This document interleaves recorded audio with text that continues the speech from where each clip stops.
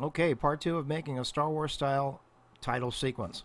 And we've just already covered uh, how to do the opening logo. Now we're going to move into the scroll that happens after the logo. So in order to do this, we're going to go to Composition, New Composition, and this composition is going to be a different size. It's going to still be 1920, but the height is going to be 12,000. Same frame rate, same time, minute 30, click OK. This is our new composition. Isn't that wild? We're going to take our text tool, and right inside this little composition, we're going to draw a text box, like so. Right, that, that's pretty good right there. Okay, now I've already copied some text that I want to put in there, and all I have to do right now to put it in there is click uh, Control V. There we go. And you can't see it yet, but that doesn't matter. We're going to find that the size of this needs to be 127 for this particular text.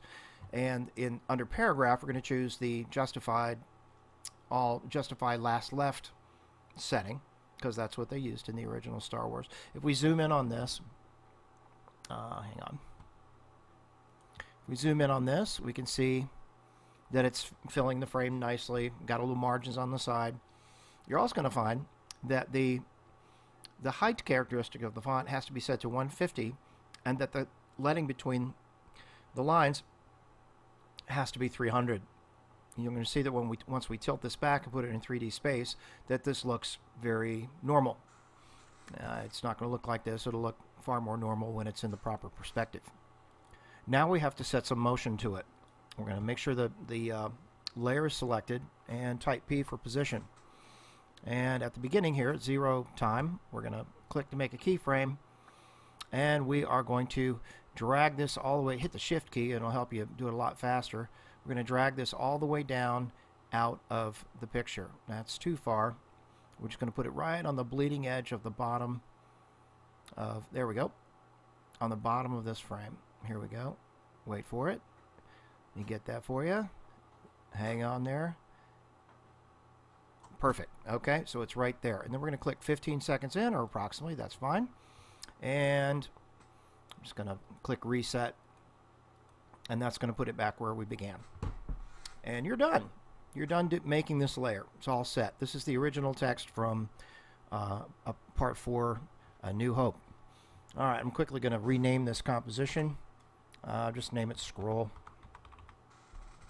And uh, uh, the first one we did, we're just going to call this main.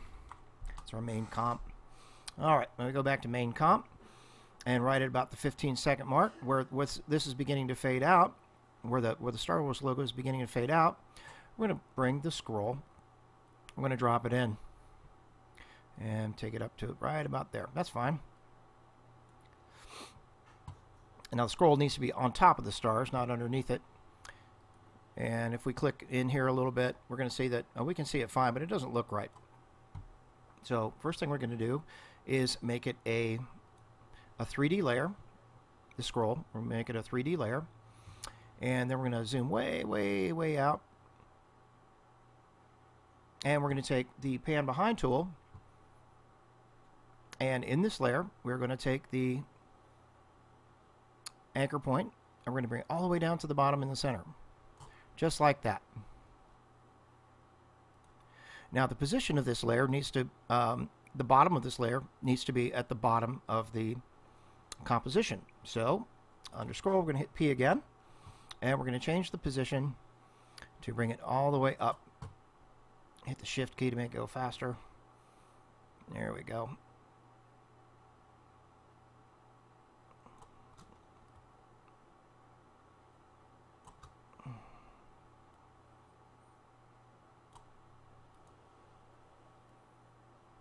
All right.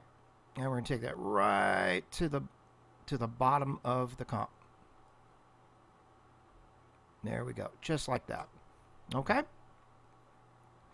And now we're going to tilt it back. So we can just hit W, type W, and grab our X, and we're going to tilt it back about